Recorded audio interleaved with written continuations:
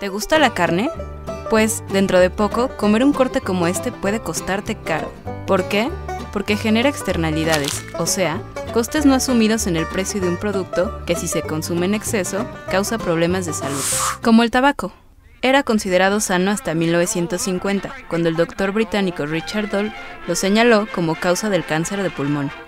Actualmente, 7 millones de personas mueren al año debido al tabaco, y su impuesto alcanza en algunos países el 12.5% sobre el precio, todo para reducir su consumo. Ahora es el turno de la carne. Por un lado, produce un 15% de las emisiones de gases invernadero debido al ganado y sus flatulencias.